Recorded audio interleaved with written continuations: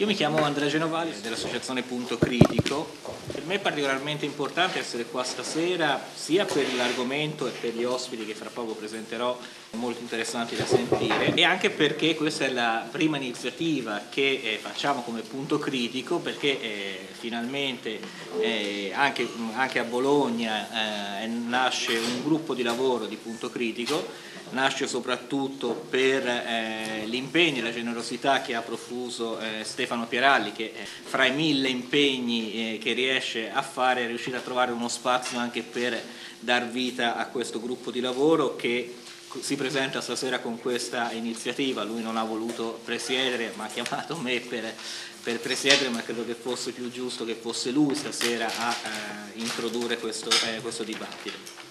credo che eh, il tipo di incontro che stasera eh, andremo a, a, fare rappresenta credo bene quello che Punto Critico vuole essere, cioè un momento all'interno della sinistra italiana, un momento di dialogo, di incontro, di confronto eh, su vari temi, cioè costruire, tentare di costruire una eh, unità sui contenuti, sulle, sulle politiche da fare, un confronto che favorisca appunto un processo di eh, di unità all'interno della, eh, della sinistra. Questo è un po' eh, l'impegno che ci siamo presi come punto critico, lo stiamo portando avanti, domani sempre eh, a Roma faremo un incontro sull'Africa chiamando movimenti, chiamando personalità del mondo dell'Africa a ragionare con noi di come costruire speriamo dopo la vittoria del 10 aprile, una politica diversa nei confronti dell'Africa da parte del governo dell'Unione. Le nostre iniziative hanno questo, eh, questa caratteristica, lo abbiamo fatto anche sull'America Latina, nella prossima settimana faremo un incontro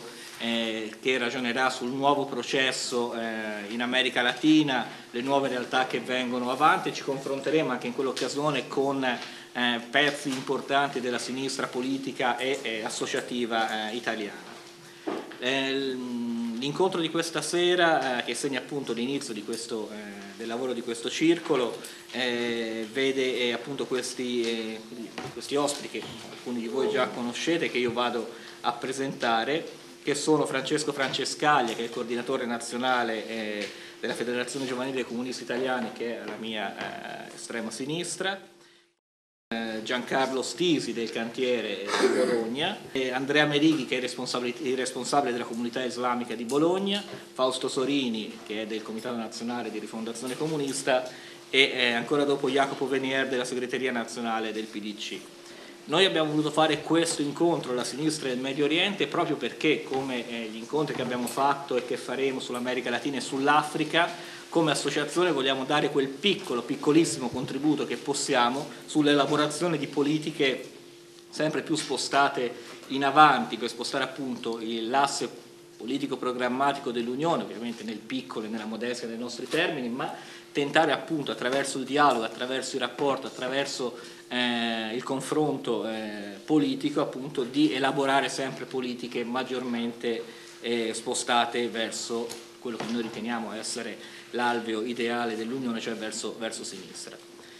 Io direi di cominciare appunto questo incontro, darei la parola per prima a Francesco Francescaglia, che è il coordinatore nazionale della Federazione dei Giovani Comunisti, eh, dei Comunisti Italiani. Io credo che come riflessione noi ci debba partire dal, eh, dal, mutato, dal mutato clima e contesto internazionale eh, che in questi ultimi anni ha realmente stravolto eh, le relazioni internazionali e, e, il mondo e che ha avuto come eh, zona geografica, come eh, attore protagonista il Medio Oriente. Credo che non si possa prescindere eh, da un'analisi, seppur breve, dei, dei rapporti, delle dinamiche che ci sono state all'interno di quell'area, che sono tuttora eh, in vigore all'interno di quell'area per comprendere appunto quale dovrebbe essere la possibile via d'uscita e quindi quali dovrebbero essere poi eh, le politiche dell'Unione, come diceva Andrea Genovai, appunto, possibilmente spostate a sinistra eh, per rapportarsi con, eh, con, questa situazione. Vado per flash molto brevemente. Eh, che cosa è successo negli ultimi 13-14 anni in Medio Oriente? Dopo sette anni eh, di intifari, quindi di lotta del popolo eh, palestinese per l'autodeterminazione e l'emancipazione, si è giunti ad un accordo storico che era appunto l'accordo di Oslo, accordo storico fatto eh, e concluso dai dirigenti di Fatah e che eh, in realtà io giudico un accordo dire, che fosse stato fatto con grande senso di responsabilità da parte dei palestinesi eh, perché prevedeva delle clausole eh, non avanzatissime eh, appunto per, per, quel popolo e per l'avanzamento della, della, costruzione dei due popoli, due stati, ovvero delle, di quanto scritto nelle risoluzioni delle Nazioni Unite, soprattutto sulla, sulla 242. Era un accordo che prevedeva chiaramente il riconoscimento, eh, il riconoscimento dello, dello, Stato di Israele. Eh, quell'accordo storico appunto su, sulla base del quale i palestinesi rinunciavano eh, anche a, a, ad alcune loro prerogative poi non ha trovato, eh, non ha trovato uno sbocco e nei successivi anni eh, lo Stato di Israele avrebbe dovuto compiere dei passi per andare nella direzione della costruzione dei, dei due popoli e due stati, passi che eh, non sono stati fatti. Detto molto brevemente, questa situazione, l'incancrenirsi di questa situazione ha portato dopo sette anni a, eh, allo, scoppio della seconda, allo scoppio della seconda intifada, ma ha portato anche a un cambiamento interno al, alle dinamiche palestinesi, nel senso che se Fatah era stata quell'organizzazione che aveva negoziato gli accordi che eh, li aveva portati al, eh, al, successo, negli anni successivi con il mancato rispetto da parte degli israeliani di quegli accordi eh, ha determinato la, una presa di potere sempre maggiore eh, dell'estremismo islamico e quindi di, di, di, eh, di coloro che quegli accordi li avevano eh, osteggiati e questo ha potuto far presa anche sul, eh, sul malcontento della, della, popolazione. Quindi anche qui, e lo pongo più come tema di riflessione che come affermazione, si potrebbe dire che in qualche misura le politiche eh, dello Stato di Israele nel non rispettare gli accordi di Oslo in qualche misura abbiano buttato la maggior parte della popolazione palestinese eh, verso eh, l'estremismo di tipo islamico. Eh, dopo la famosa passeggiata eh, sulla spianata delle moschee da parte di, di Sharon appunto è scoppiata questa, la seconda intifada e quindi la nuova rivendicazione del popolo palestinese eh, dapprima che chiedeva appunto il rispetto degli accordi eh, di Oslo e poi successivamente dire, eh, caduta questa eh, opzione politica che chiedeva appunto l'emancipazione e, e l'autodeterminazione di quel popolo. Dopodiché però, eh, come dire, questa è una visione dipinta in tempo brevissimo, ma è una visione del tutto interna ai rapporti tra eh, e alle dinamiche interne a, a, al popolo palestinese e, a, e, allo Stato di Israele. Io credo che eh, questa analisi sarebbe incompleta se non venisse rapportata tutto quello che è successo in Medio Oriente dopo il 2001, quindi dopo l'11 settembre. Ora è chiaro che gli Stati Uniti d'America hanno sempre considerato strategica l'area medio orientale per i ben noti motivi eh, del controllo delle risorse energetiche e delle risorse petrolifere. Anche negli anni 70 tutti i conflitti che ci sono stati in qualche misura tendevano a quello. Eh,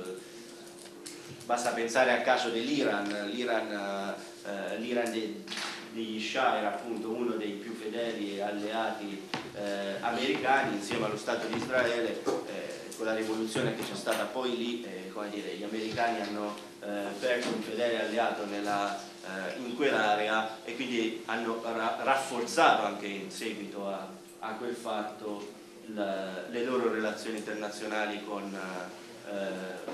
con Israele. Eh, dopo l'11 settembre 2001 eh, tutti quanti noi che abbiamo sempre ritenuto che la soluzione eh, dei problemi medio orientali passasse attraverso eh, la soluzione della, della questione palestinese eh, abbiamo avuto una conferma un po', un po curiosa ai nostri spettri più negativi, nel senso che abbiamo eh, visto all'inizio come la presidenza Bush non si interessasse molto della, della questione palestinese, almeno in apparenza, dei, ma anche dei rapporti con, eh, eh, con, Israele. Se vi ricordate bene, nei primissimi eh, tempi successivi all'11 settembre i rapporti tra eh, Israele e gli Stati Uniti sembravano quasi essersi un po' eh, raffreddati. Anche qua lo, pongo come riflessione e non come affermazione. Eh, questo potrebbe anche essere interpretato nel seguente modo, ovvero gli Stati Uniti decidevano di non intervenire più per interposta persona nel Medio Oriente, quindi affidandosi a eh, uno Stato amico come avevano fatto nei precedenti 30 anni, 40 anni, quindi di affidarsi a Israele eh, per eh, portare avanti le loro politiche nell'area, ma intervenivano direttamente occupando militarmente uno Stato eh, eh, strategico di quell'area, e cioè l'Iraq, e, e, e, questo tendeva a dire, bene, eh, ora gli interessi nostri nell'area ce li tuteliamo da noi, e quindi anche voi israeliani state attenti a, a, a, alle politiche che mettete in atto perché potreste anche non essere più indispensabili per i nostri interessi. Dopodiché a conferma che l'intervento in Iraq sia un completo fallimento, eh, abbiamo il fatto che appunto la, la, presidenza Bush ha dovuto invece restringere i rapporti con, eh, con lo Stato israeliano e con, eh, con, Sharon, ha, dovuto, ha appoggiato eh, la costruzione del muro e, e, e tutte le ultime politiche eh, che, che sono state fatte. E questo ha chiaramente determinato anche qua un acuirsi delle tensioni in, in tutta l'area nonché io credo che abbia determinato anche la vittoria di Hamas alle recentissime eh, elezioni eh, in Palestina, nel senso che insieme a tutta una serie di fattori e, e, e di analisi e, e, anche di responsabilità che io credo abbia lo stesso Al-Fatah, e però non si può escludere che in un clima di, di scontro di civiltà, eh, in un clima di radicalizzazione, di polarizzazione eh, dello scontro anche su basi, eh, su basi religiose, eh, la risposta eh, del popolo palestinese sia stata di tipo identitario, di tipo religioso e che quindi abbia visto eh, il prevalere, di, il, prevalere di, Hamas, determinando anche il fatto che ora la, la, politica di unità, di unità nazionale palestinese sembra essere venuta, sembra essere venuta meno e quindi si è determinata una grossa frattura tra i sostenitori di Al-Fatah e i sostenitori eh, di Hamas. C'è in corso e eh, nell'agenda politica di questi giorni uno scontro istituzionale fortissimo tra eh, il presidente palestinese che Abu Mazen, eh, eh, notissimo esponente di, eh, di Al-Fatah e, e invece eh, appunto quelli che hanno vinto le recenti eh, elezioni, che hanno cancellato alcuni provvedimenti che rafforzavano i poteri eh, del Presidente, quindi c'è in atto uno scontro eh, istituzionale anche all'interno del popolo palestinese. È del tutto evidente che dalle divisioni dello stesso popolo palestinese gli unici che hanno qualcosa da guadagnare sono appunto, eh, sono appunto gli israeliani e, e sono appunto coloro che eh, da sempre appoggiano eh, le politiche israeliane. Che fare e, e quindi come operare se questa analisi eh, ha eh, dire, degli elementi di, di interesse? Io credo che bisognerebbe provare innanzitutto a eh,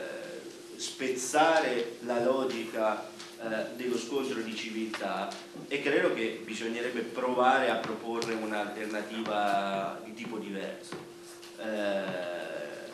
io credo che il soggetto eh, che potrebbe, l'unico soggetto che potrebbe fare eh, una cosa di questo genere sia, eh, sia l'Europa. Europa che però in questo momento, come dire, ha dato dei segnali importanti ma ha dato dei segnali troppo deboli primo segnale importante è che mentre subito dopo la vittoria di Hamas eh, gli americani, eh, per bocca del loro segretario di Stato, hanno eh, tagliato i finanziamenti e gli aiuti eh, allo Stato, all'autorità nazionale palestinese, eh, mentre invece l'Europa ha detto che verificherà caso per caso e che quindi non, sostanzialmente non chiudeva il rubinetto. Questo significa, eh, anche qua, eh, significa aver compiuto un atto di responsabilità estrema e, e significa eh, eh aver voluto operare per continuare a dare alla politica uno spazio eh, di possibilità e quindi uno spazio per poter andare avanti perché con i finanziamenti internazionali l'autorità nazionale palestinese eh, paga eh, i dipendenti eh, che lavorano, che credo che non ricevono lo stipendio da, eh, da tre mesi tagliare gli aiuti internazionali significa non corrispondere agli stipendi quindi sostanzialmente significa far andare in bancarotta l'autorità nazionale palestinese. Ora, gli americani i loro aiuti li hanno tagliati, eh, lo Stato di Israele che è quello che filtra comunque sia la tassazione e che poi la rigira all'autorità nazionale palestinese ha detto che non lo farà più. L'Europa invece ha dato un segnale importante dicendo eh, noi questi aiuti li daremo è un segnale importante, ma un segnale ancora, ancora troppo debole. Ora noi come Italia abbiamo storicamente abbiamo sempre svolto un ruolo eh, importante di, di, dialogo con, eh, con, entrambe le parti, con lo Stato di Israele e con, eh, e con i palestinesi. Eh, con il governo Berlusconi noi abbiamo interrotto eh,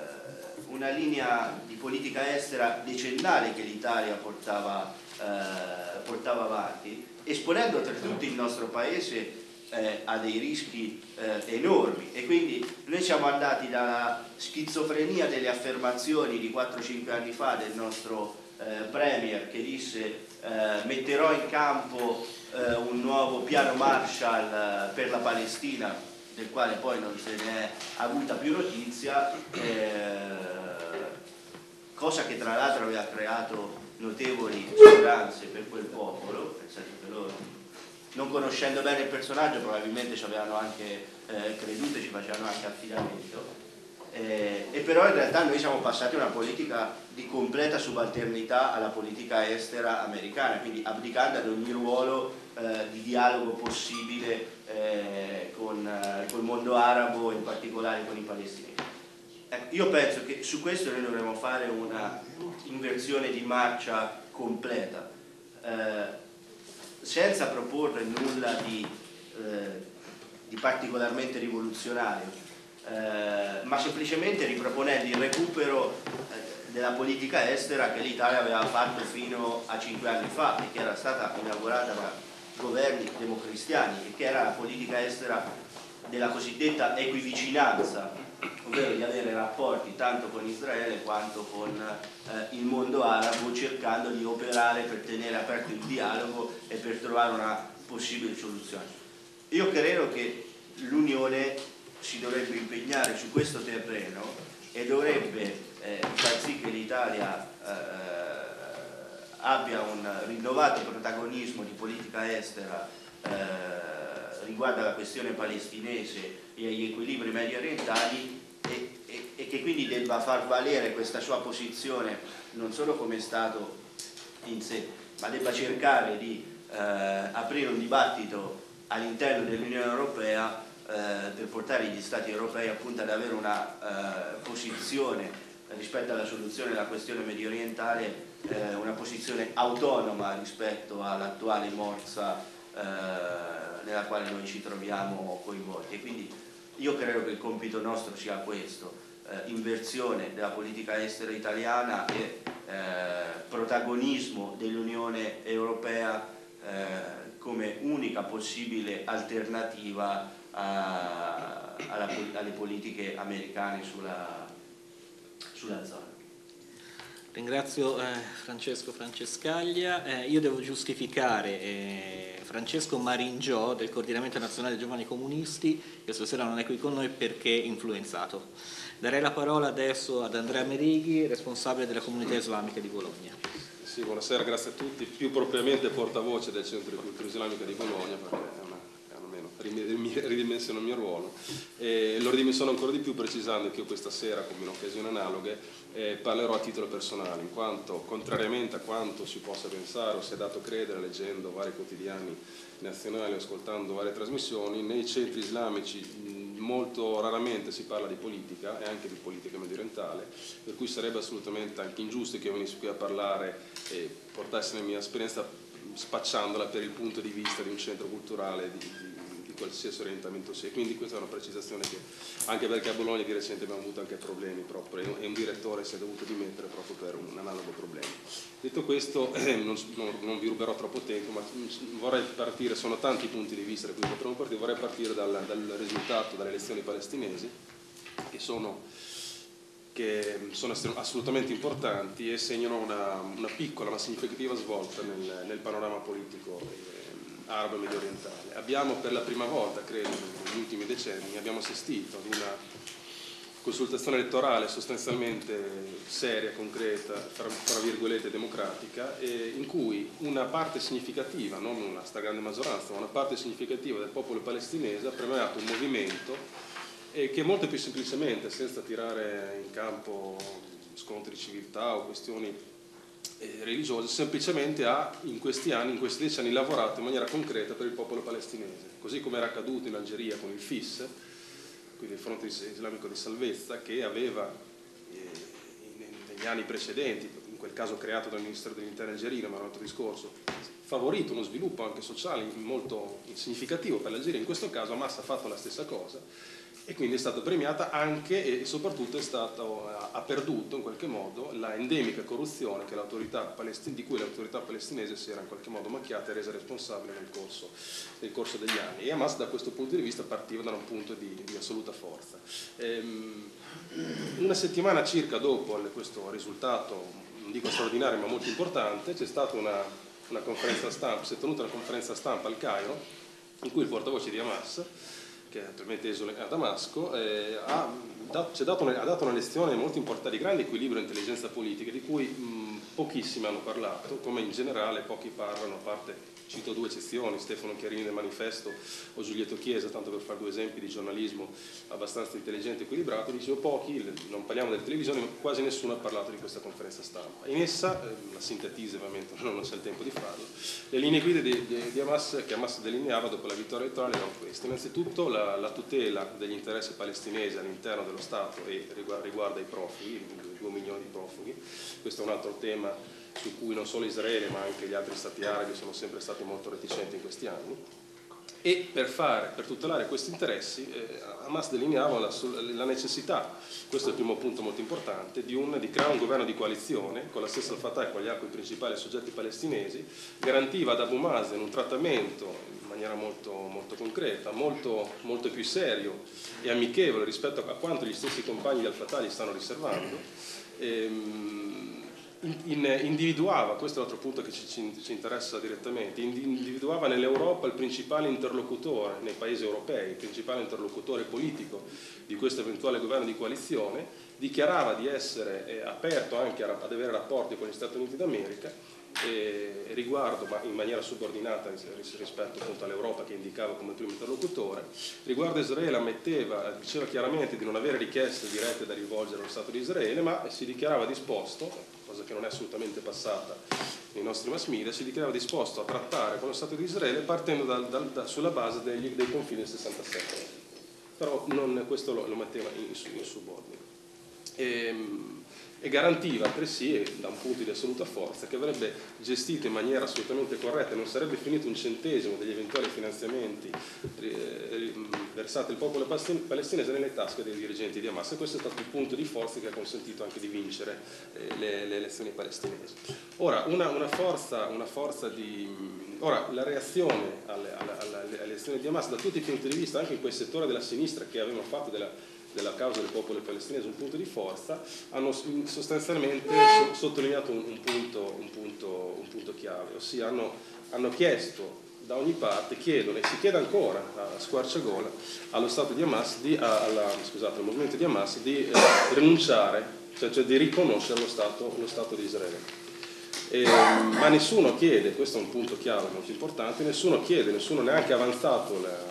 fatto notare che in tutti questi anni lo Stato di Israele non ha mai riconosciuto e rispettato la risoluzione dell'ONU e quindi a fronte di due soggetti, un'entità statuale eh, israeliana molto forte, economicamente, militarmente, politicamente eh, piuttosto solida e di fronte a un soggetto estremamente debole come il movimento di Hamas e in genere il popolo palestinese, l'Occidente, l'Europa, nonostante alcune concessioni, chiede al soggetto più debole una, una, una, missione che non può politicamente non può fare, perché se, anche se volesse, ma no, non credo lo voglia, in questo momento avendo visto, vinto l'elezione non potrebbe abdicare a quella che è una delle sue principali prerogative perché sarebbe vista all'interno del mondo arabo come un, un, palese tradimento di quello che è un impegno politico coerente nel corso dei decenni. Quindi una, una richiesta assolutamente inaccettabile, improponibile dal punto di vista strettamente politico, non parlo di linea di principio né di fondamentalismo religioso, mentre invece non si chiede al soggetto più forte di, e di rispettare quello che è un minimo di, di parvenza di, legali, di, legalità internazionale. Quindi una forza di governo, una forza, una sinistra che eh, auspica eh, legittimamente, questo mi fa del tutto piacere, di essere forza di governo deve comunque tenere presente che se vuole ripercorrere una politica anche di una certa equidistanza deve, deve in qualche modo proporsi, anche se, se è difficile farlo, con, certa, con, un certo equilibrio, una certa misura. Ora torniamo un attimo indietro, se noi guardiamo la conformazione eh, geografica dell'Italia, non si è detto prima ma si può aggiungere, eh, l'Italia è proprio geograficamente protesa come un ponte nel mar Mediterraneo, protesa verso la sponda eh, meridionale questo, del lago Salato. E, e, e questa, questa, conformazione geografica può essere, presuppone due tipi di opzioni e fa, può, può favorire due tipi di soluzioni. Può in maniera, in maniera del tutto naturale costituire un ponte verso il mondo arabo, verso il vicino oriente e quindi favorire una cooperazione politica, economica, una partnership in qualche modo eh, costruttiva, o può eh, molto, molto, più semplicemente costituire una porta, essere una porta aerea protesa verso, verso le, stesse, le, stesse, direzioni. È evidente che la, la, politica, come sottolineava prima chi mi ha preceduto, la politica di questi ultimi cinque anni ha, ha proteso per questa seconda soluzione, un totale allineamento all'amministrazione Cenei e in qualche modo una, una, una, uno squilibrio molto forte a favore degli interessi, degli interessi israeliani. Ora, eh, ha fatto sorridere il ministro della difesa, lo stesso ministro che una settimana fa parlava, tirava in ballo la tragedia greca, il fatto per descrivere l'omicidio del dottor Nicola Calipero in Iraq, faceva, faceva specie che lo stesso ministro della difesa tre o quattro mesi fa salutasse con, con grande con grande gioia il fatto che gli, americani smantelleranno la base militare a Lampedusa,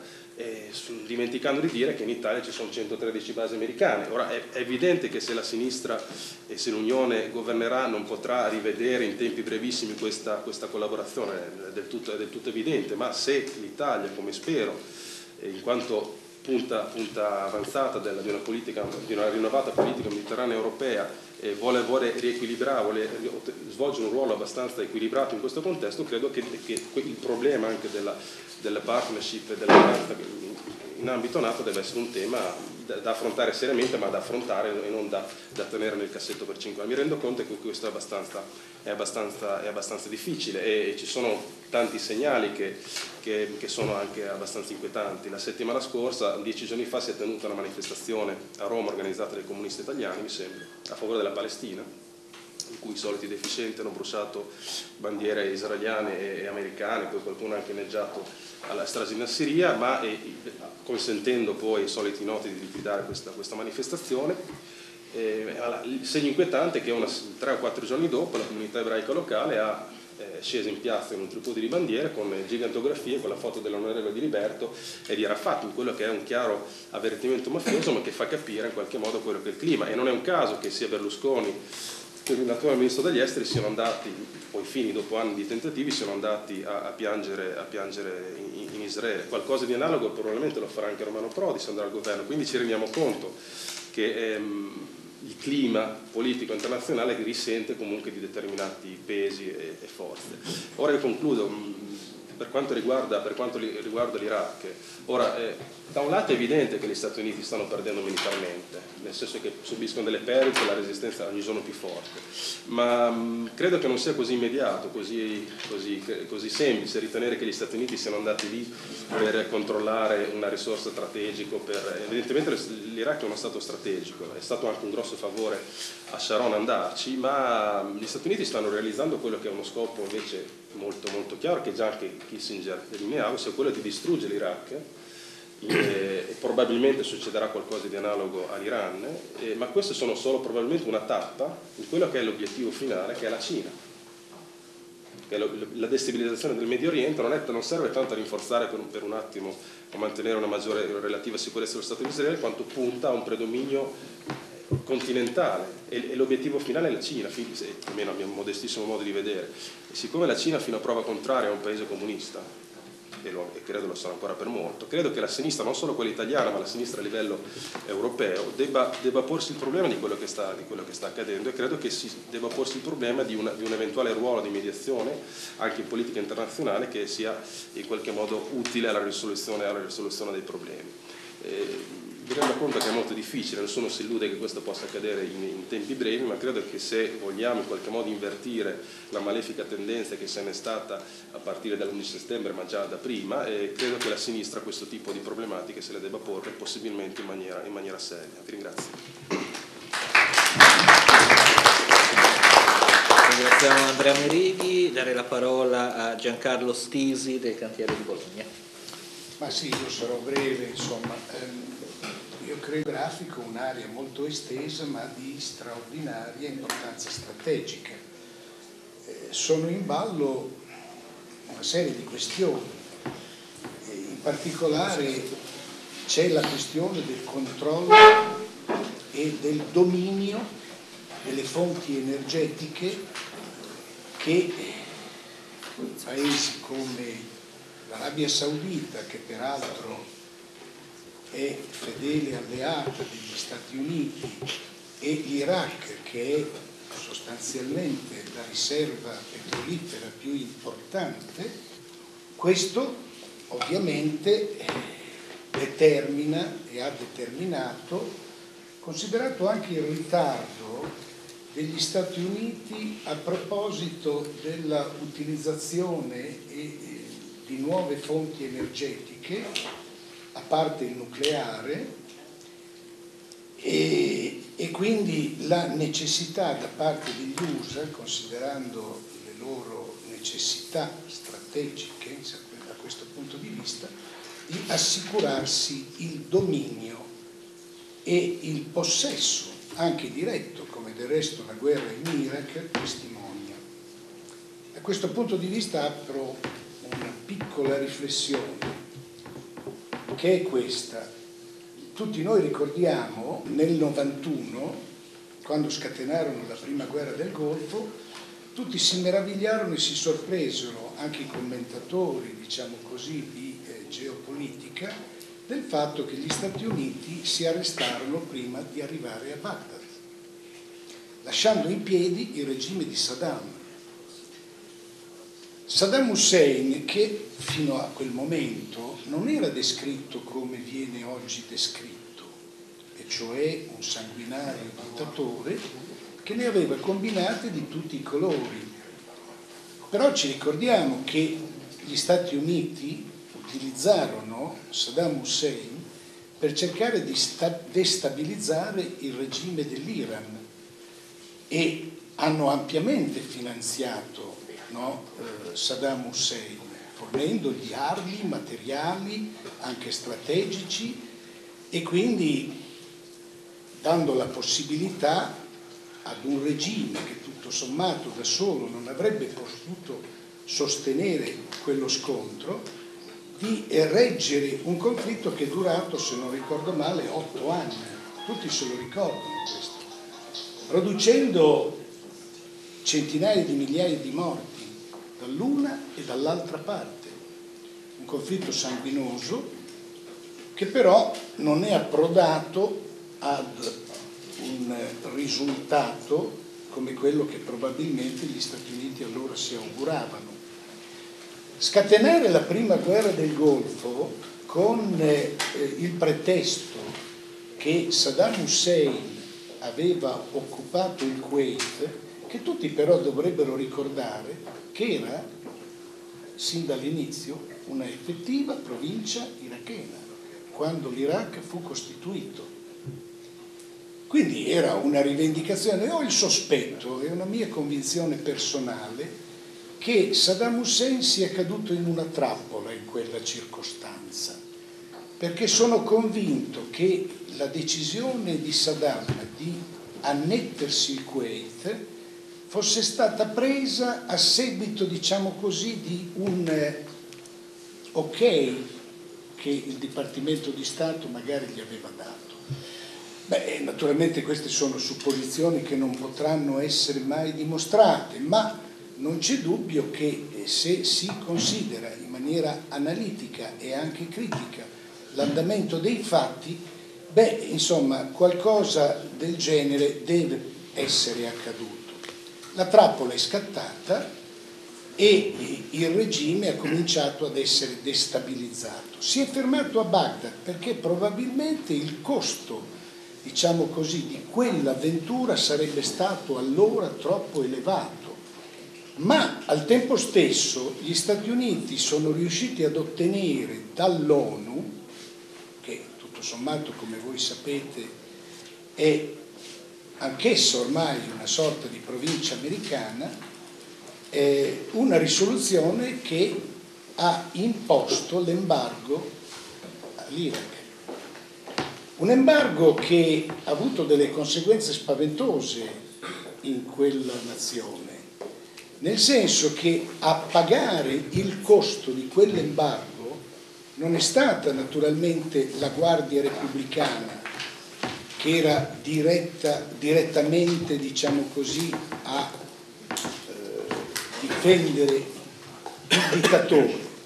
ma a pagare il costo è stata purtroppo la popolazione civile, perché questo è quello che accade.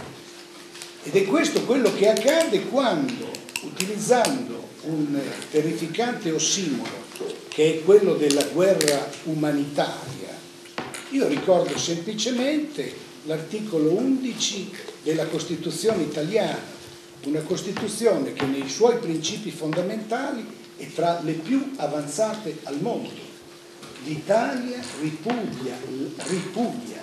la guerra come strumento di offesa alla libertà degli altri popoli e come mezzo di risoluzione, anche questo si dice, delle controversie internazionali. È vero che c'è una seconda parte ed è questa la seconda parte che è stata utilizzata per giustificare la guerra in Kosovo, per giustificare la, guerra, la prima guerra del Golfo, per giustificare ogni altra azione militare che è stata in questi ultimi decenni portata avanti in quasi tutto l'orbe terracqueo. Consente l'Italia in condizioni di parità con gli altri Stati, però c'è anche questo inciso, in condizioni di parità con gli altri Stati, alle limitazioni di sovranità necessarie ad un ordinamento che assicuri la pace e la giustizia fra le nazioni. Qui non si parla di importare la democrazia, che assicuri la pace e la giustizia fra le nazioni. Ed è questo quello che è stato utilizzato dal governo D'Alema, lo devo dire, ed è stato utilizzato anche in tempi recenti, ovviamente, per giustificare le spedizioni militari che avevano lo scopo di impedire le cosiddette pulizie etniche. Ora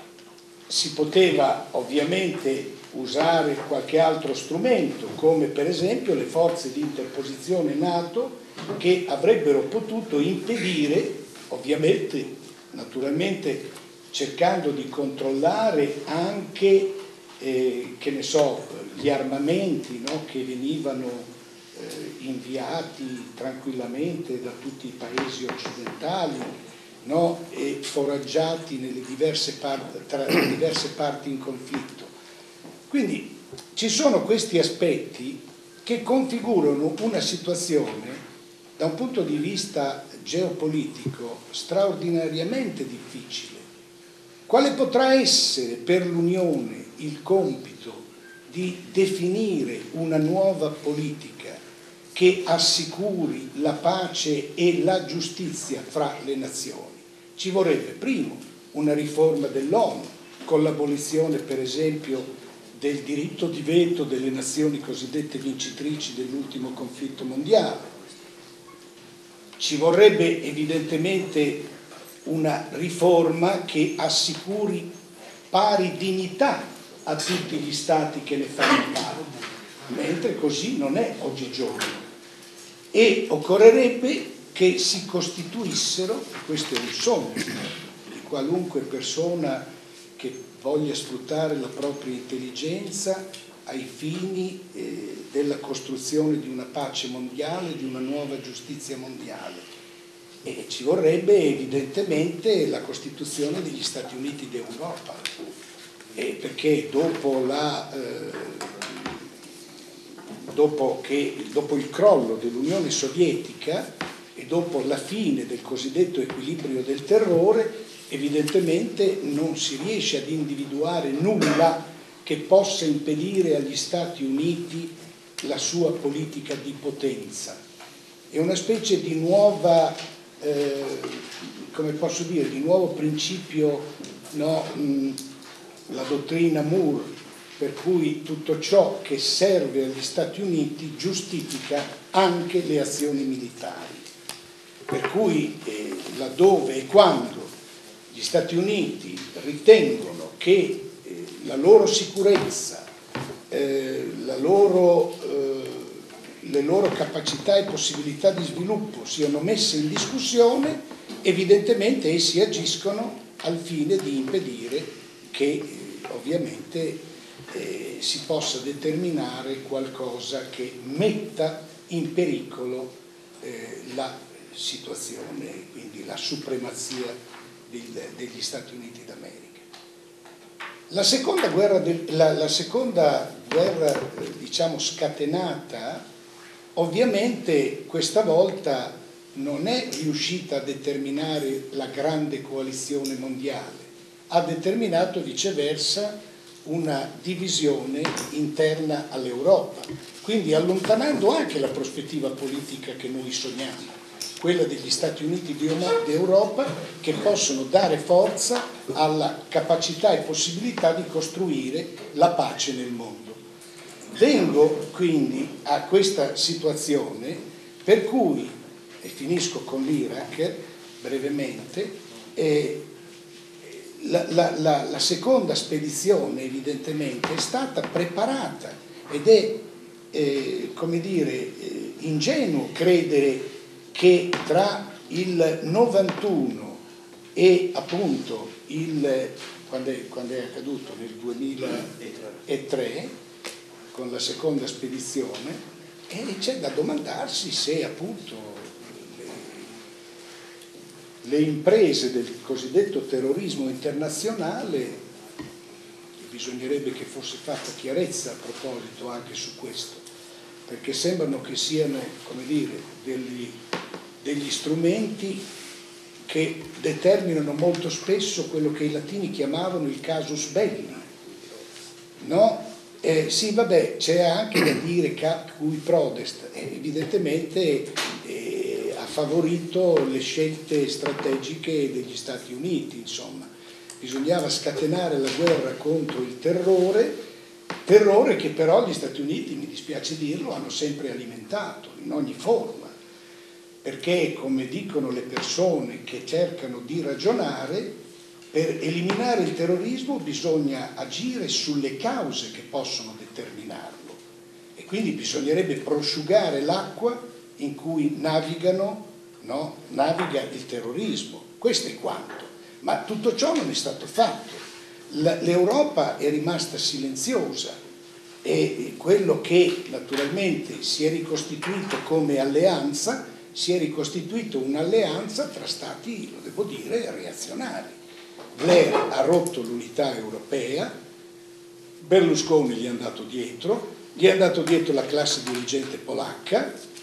e gli Stati Uniti d'America si sono divisi su questo. Inizialmente c'era Aznar in Spagna, no? E quindi anche la Spagna,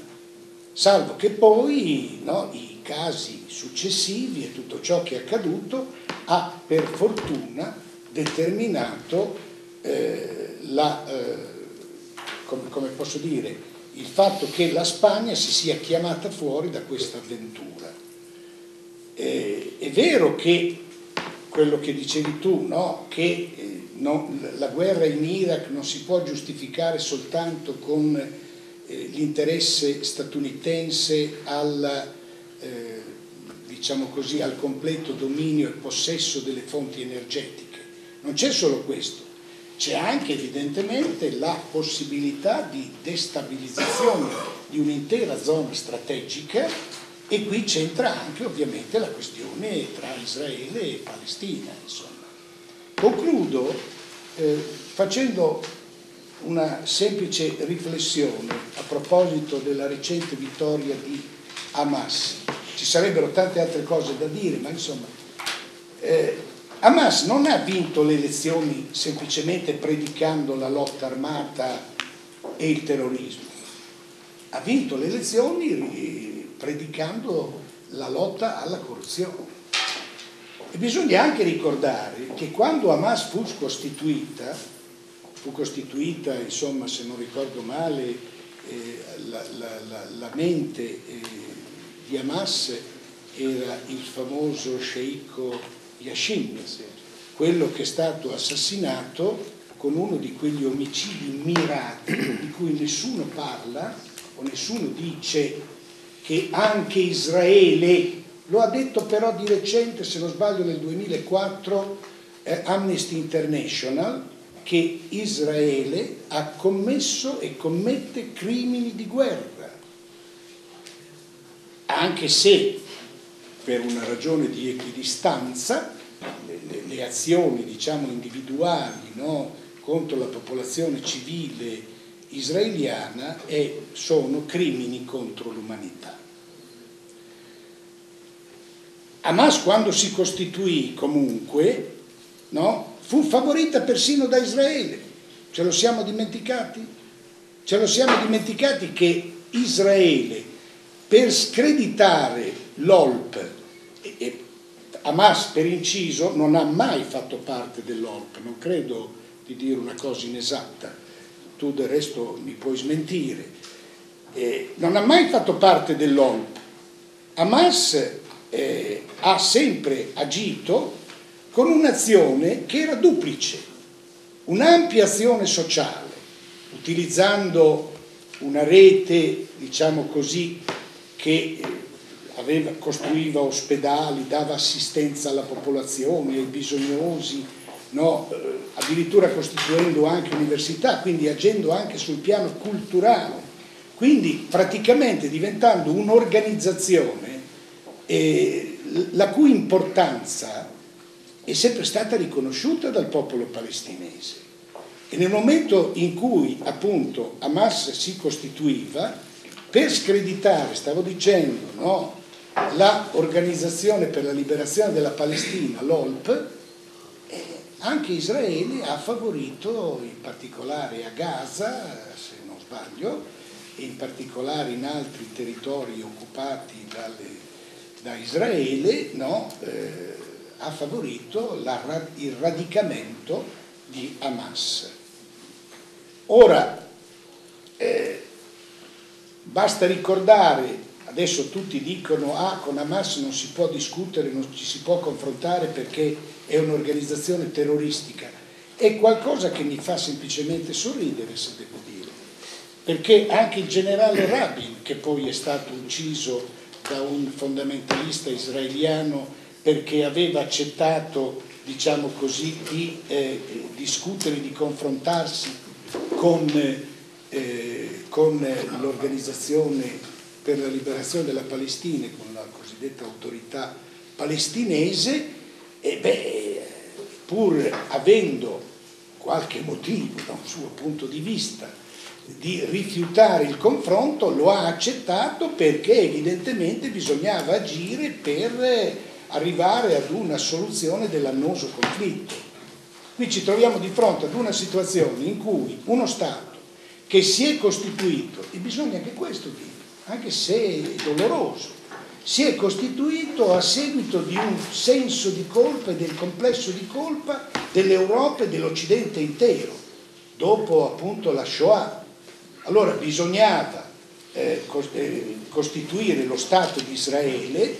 no?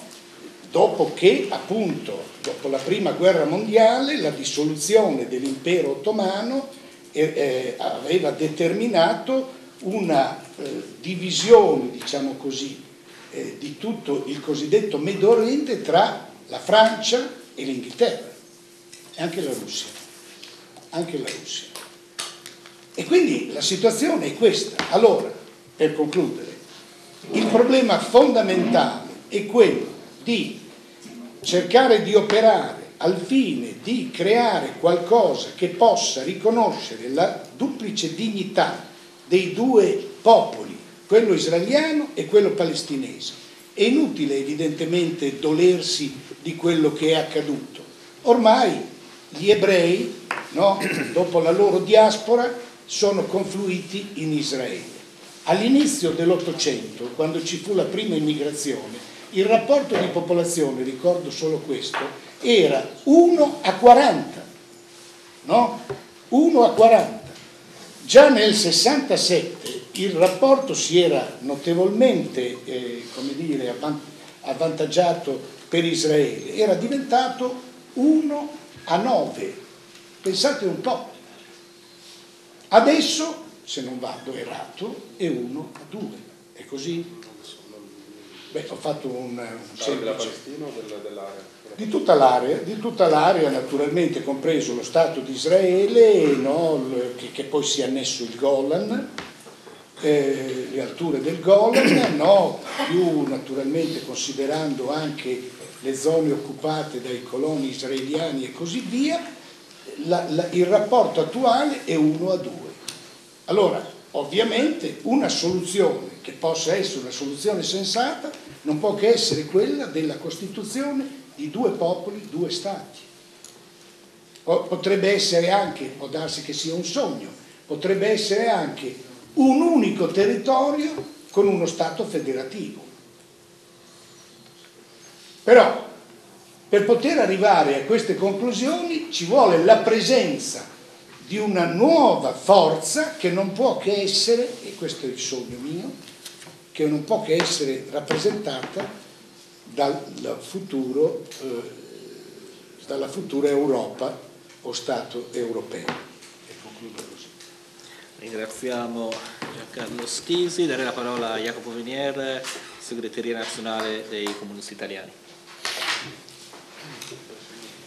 Ma io credo che il tema che abbiamo questa sera, nelle ultime settimane, abbia fatto discutere parecchio a sinistra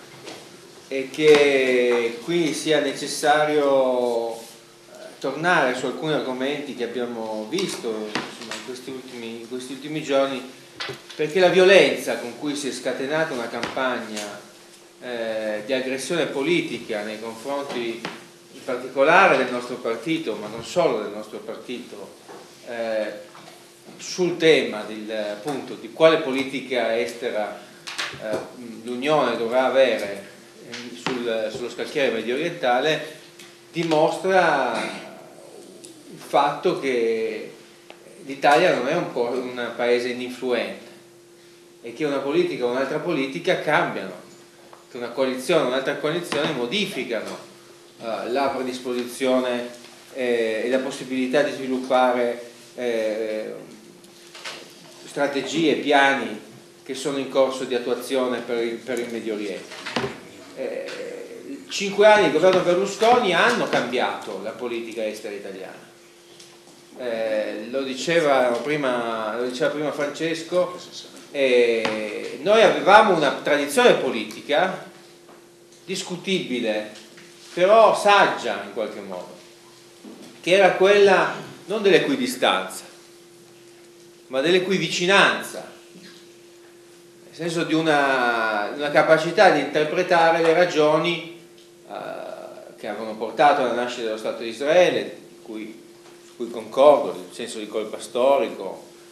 la violenza con cui è nato lo Stato di Israele. Certo. Perché non è antisemita ricordare la storia. Certo. E cioè il fatto antisionista, che è diverso dall'essere antisemita. Ho letto che Fassino eh, rivendica al sionismo un elemento strutturale all'interno della storia della sinistra, su questo si dovrebbe aprire un dibattito serio. Eh,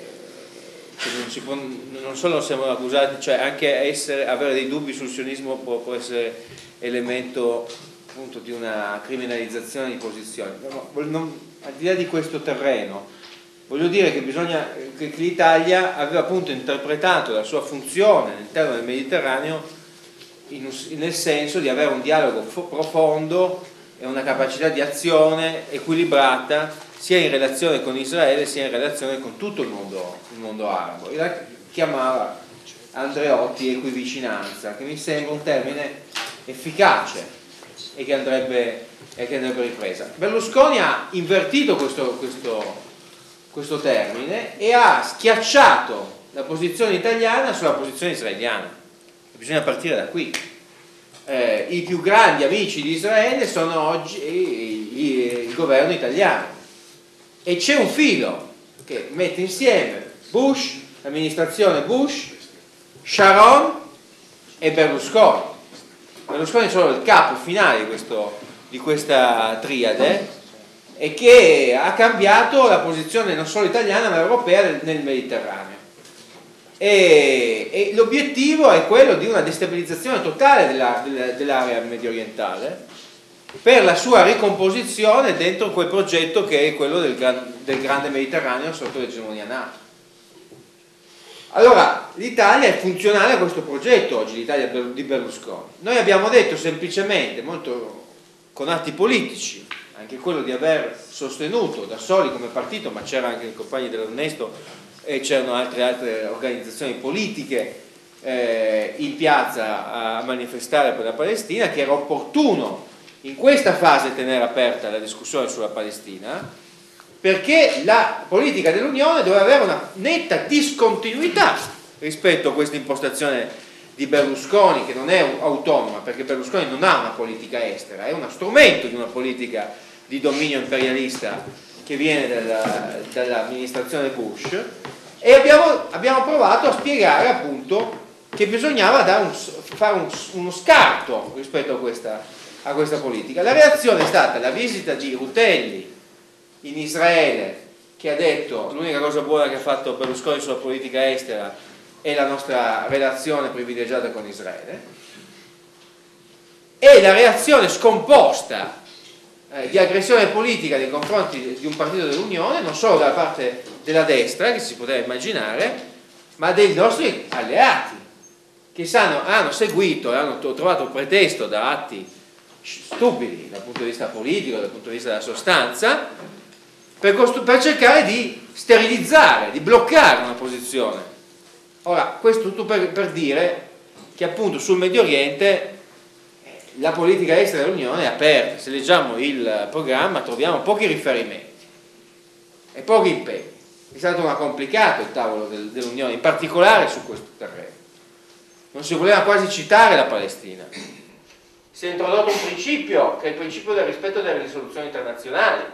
che non è poco, se riuscissimo a spiegare che non può esserci un paese al mondo, che è Israele, che è impunito, che, a cui è permesso la violazione sistematica di tutte le, le, le regole e le, e le, norme definite eh, sul piano internazionale. Allora, io la dico così, eh,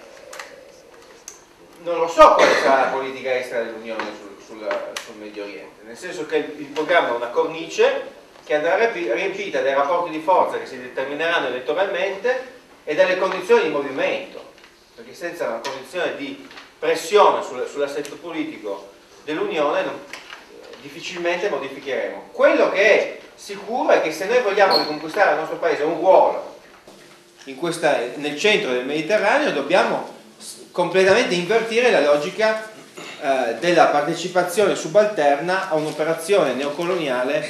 dai caratteri imperialistici, eh, che ha come scopo principale e immediato non solo l'acquisizione e il controllo diretto con le truppe della risorsa energetica in funzione dello scontro con la Cina, questo sono d'accordo, ma non solo, per il controllo delle, delle dinamiche di sviluppo economico europee, prima di tutto, col, col controllo della, della, della, del prezzo, della dinamica dei prezzi dell'energia, Teniamo conto che il più enorme dei conflitti di interesse del pianeta è quello dell'amministrazione Bush che, che, è formata dai rappresentanti diretti delle multinazionali dell'energia, no? quindi eh, loro con lo strumento della, della, guerra definiscono la quantità di profitto che arriva al, al, direttamente alle multinazionali. Ma dico, questo significa ottenere eh, l'applicazione delle, della nostra Costituzione in modo fermo e allo spirito della, della lettera e quindi il ritiro immediato delle truppe. Ma pensate che difficile è stato introdurre solo un elemento che sembra marginale, ma è fondamentale. Nel programma dell'Unione siamo riusciti con una battaglia politica, sembrava all'inizio sembrava che eravamo soli, poi alla fine non è stato così, perché se non ci fosse stato attraverso, oltre al Partito Comunista Italiano, anche una, una, una discussione nelle altre forze politiche e nel movimento, non sarebbe riusciti, di introdurre l'elemento che il ritiro avverrà in termini tecnici necessari al ritiro. Già ancora ci sono margini di ambiguità importanti e pericolosissimi dentro quella formulazione. Ma all'inizio avevamo una formulazione che diceva noi proporremo immediatamente il ritiro delle truppe consultate le, le, autorità irachene e garantite le condizioni di sicurezza. Quando io mi sono trovato a quel tavolo ho chiesto, ma scusate, cosa ci interessa quando proporremo il, ritiro? A giugno votiamo il rifinanziamento delle truppe, si vota no al rifinanziamento delle truppe, il ritiro è immediato. Eh, cioè non è quel punto quando si presenterà, è quando si realizza il ritiro. E il, i temi della, della sicurezza, di sicurezza di chi? delle truppe che devono ritirarsi, allora scriviamo e poi alla fine l'abbiamo scritto che avverrà nei tempi tecnici, ma non è stato così semplice. Perché anche sull'Iraq c'è un'ambiguità, c'è chi dice che bisogna gestire il ritiro, c'è Fassino che dice sostanzialmente a, a, a, eh, dobbiamo ritirarci concordandolo con gli americani alla fine del 2006, sostanzialmente lo che, la, la, la stessa cosa che dice Berlusconi.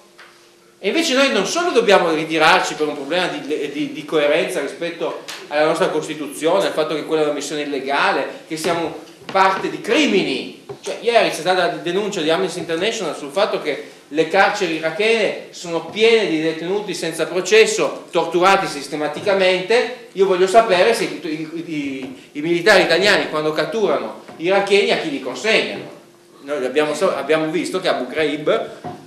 è anche frutto sì, di, di, una collaborazione eh, con, le, con, le, truppe italiane. Ora, questo noi non lo sappiamo perché non sappiamo nulla di quello che succede in Iraq, però possiamo immaginare che questo ci sia. Ma c'è anche un punto politico. Se noi non diamo un segno di discontinuità immediato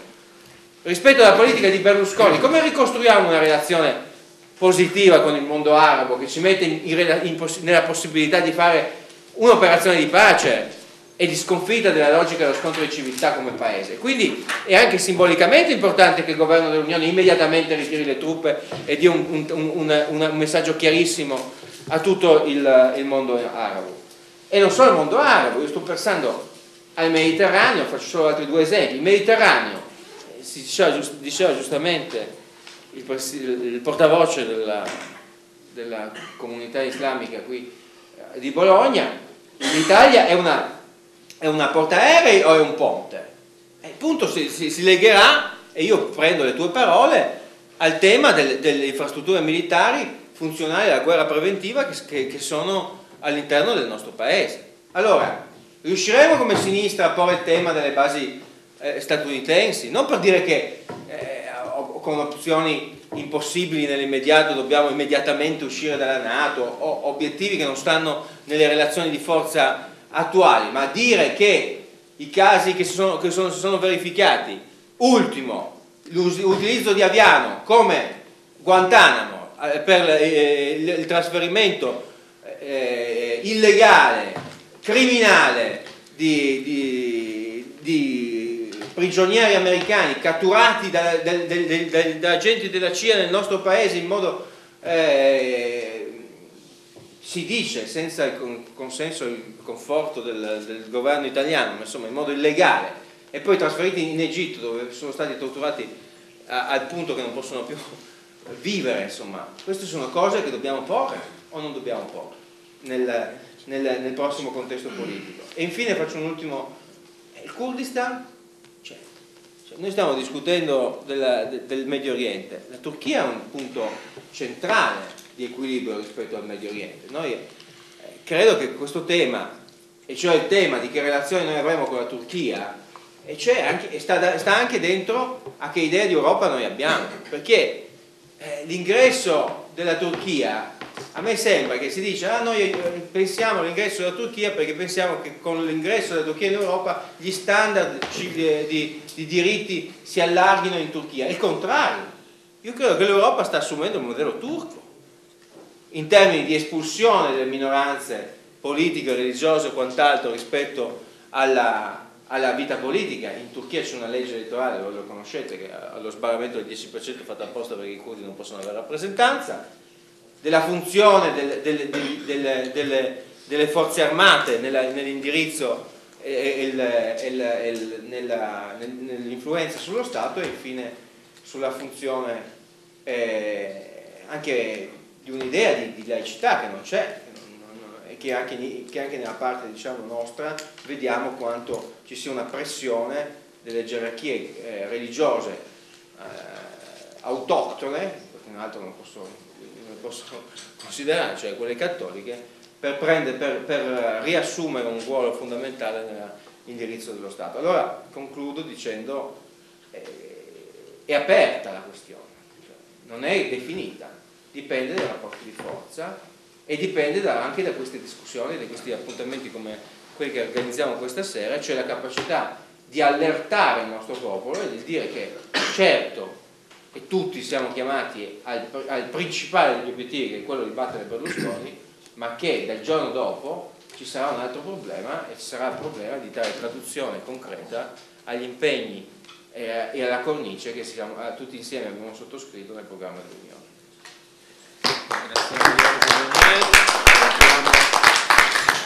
Diamo la parola per l'ultimo intervento di questo primo eh, giro a Fausto Sorini del Comitato Nazionale di Riconversione Comunista.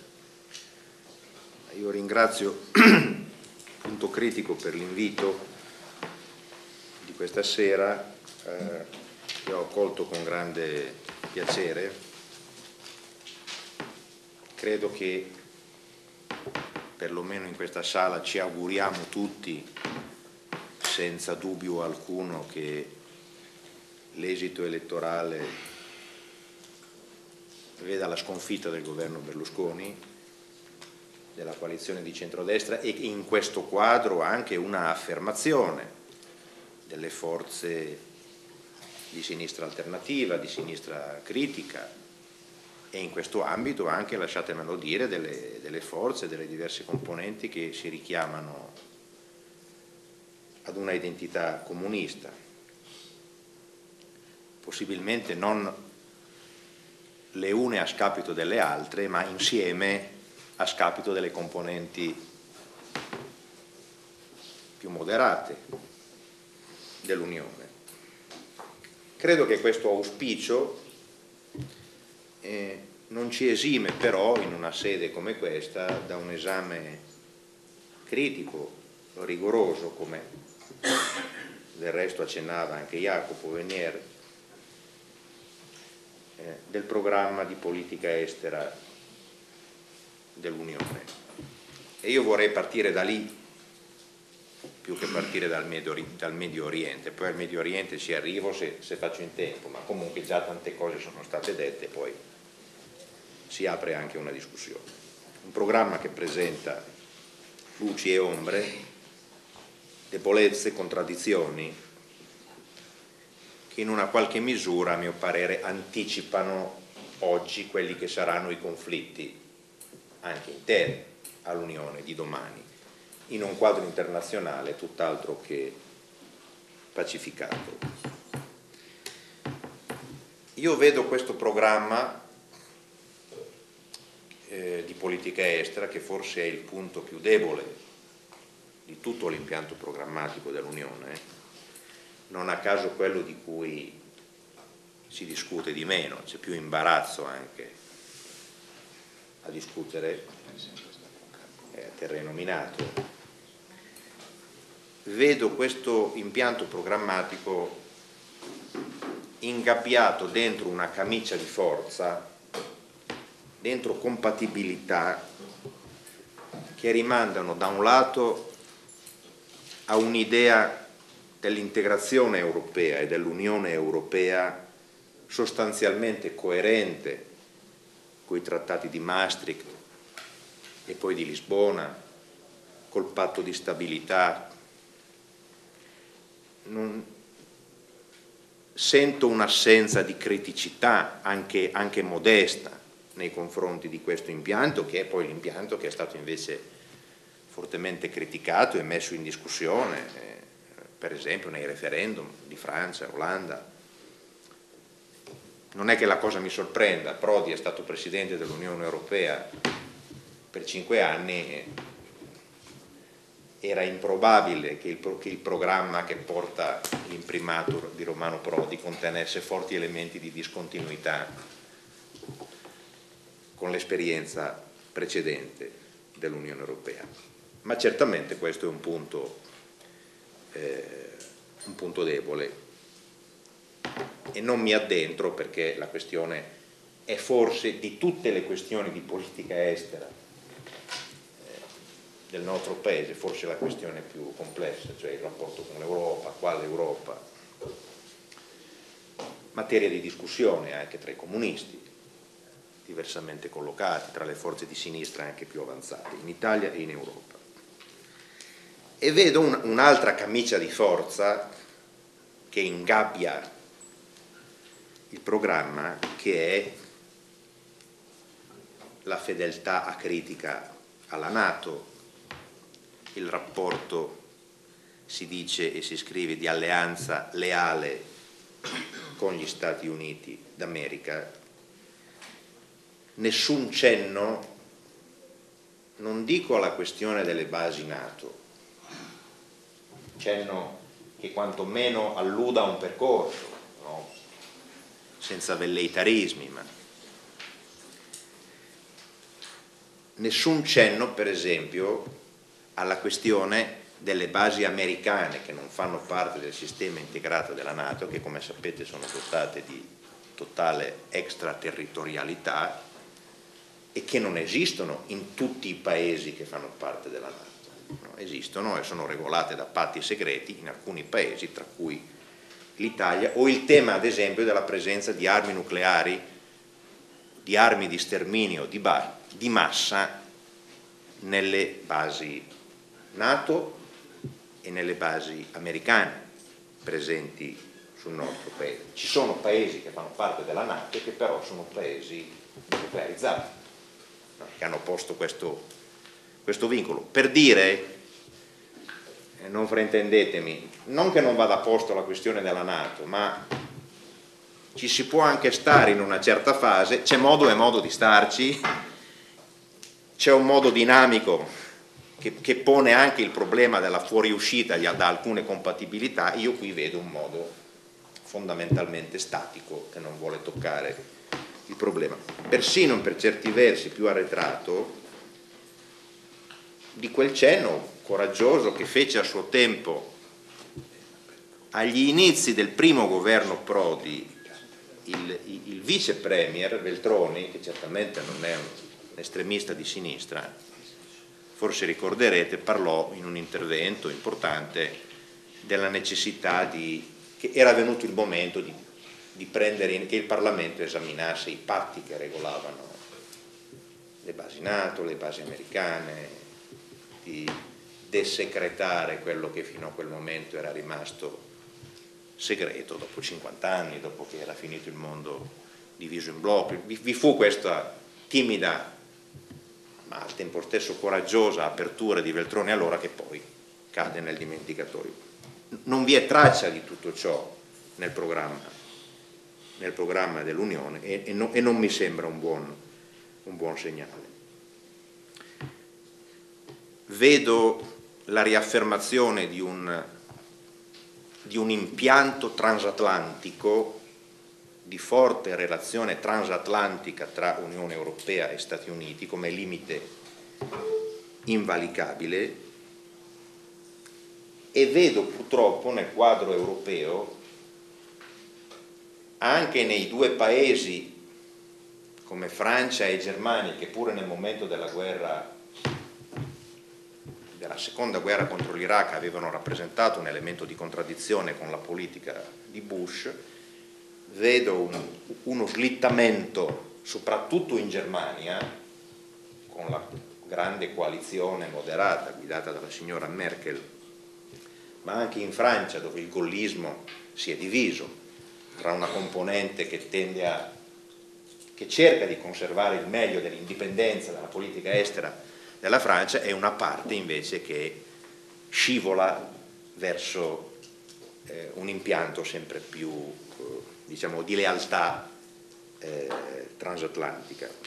E badate, al di là dei programmi, di quello che c'è scritto nei programmi che conta, ma poi contano appunto i rapporti di forza e conta anche il posizionamento delle forze politiche, non so se avete seguito porta a porta ieri sera il confronto con Prodi, Prodi esplicitamente ha richiamato l'attuale collocazione della Germania della signora Merkel come punto di riferimento per quanto riguarda la collocazione dell'Italia in ambito europeo nel, nel, contesto di relazioni, diciamo, di amicizia con, con gli Stati Uniti. Il che mi pare come dire, un arretramento anche rispetto ad una valorizzazione eh, dell'asse franco-tedesco, così lo chiamammo eh, allora nel momento in cui appunto ci fu la guerra, la guerra contro l'Iraq. Per non parlare, è già stato ricordato, dei pronunciamenti eh, filo-israeliani di Rutelli che in questo modo si è anche guadagnato oggi l'elogio di Mieli nell'editoriale del Corriere della Sera, i quasi pronunciamenti alla Rutelli del leader dei democratici di sinistra, del segretario Fassino, al punto che una figura del quadro politico italiano, ripeto che certamente non un estremista di sinistra come Massimo D'Alema, per il solo fatto, in due occasioni recenti, di essersi permesso da una parte di criticare e di definire assassini quelli che hanno comandato il bombardamento al fosforo su Fallujah sulla popolazione civile e dall'altra di avere criticato la politica di Israele, l'uso della violenza da parte della politica di Israele nei confronti, nei confronti dei palestinesi, di essersi meritato i rimbrotti dell'ambasciatore israeliano in Italia che ormai dà pagelle a tutti, che definisce di Liberto un terrorista, lo definì un terrorista dopo l'incontro in Libano con gli Hezbollah Oggi scrive, sono dichiarazioni di pochi giorni fa, a proposito di Liberto, forse sarà un ministro e un ministro italiano che appoggia il terrorismo e che aggiunge, prendendosela in questo caso con Rifondazione Comunista e con la presenza del palestinese Ali Rashid, che non è un estremista, detto per inciso, nelle liste di rifondazione, l'ambasciatore israeliano che afferma che la sua candidatura nelle liste di rifondazione è una vergogna per l'Italia. Questo al di là, ci sono i limiti e le debolezze e le contraddizioni del programma, ci sono poi, come dire, i rapporti di forza e le posizioni concrete, la materialità delle posizioni di una serie di forze che a tutt'oggi sono le forze maggioritarie all'interno eh, dell'Unione che prefigurano diciamo, un quadro complesso per quanto riguarda un eventuale futuro governo dell'Unione di cui pure tutti auspichiamo ovviamente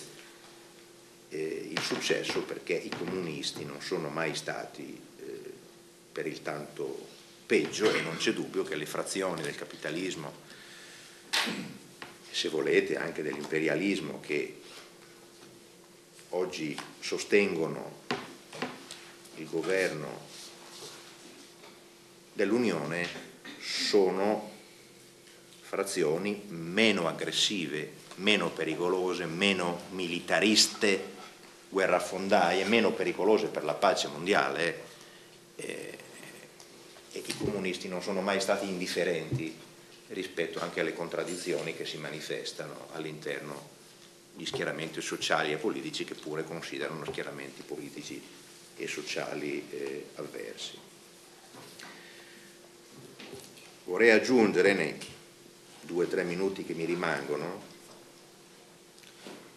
eh, un cenno alla questione dell'articolo 11. Trovo, mi permetto anche di fare un invito al mio partito e anche al Partito dei Comunisti Italiani perché questo tema non sia lasciato cadere nel dimenticatoio. Nel programma dell'Unione, tra le tante contraddizioni, viene sposata una interpretazione dell'articolo 11 della Costituzione che, lasciatemelo dire, è l'interpretazione con cui Ciampi e Berlusconi hanno avallato la presenza dell'Italia in Iraq considerando la presenza non, non belligerante. Cosa intendo dire? Cosa intendo dire? Che sulla famosa seconda parte dell'articolo della, eh, dell'articolo 11, che fu scritto in un'epoca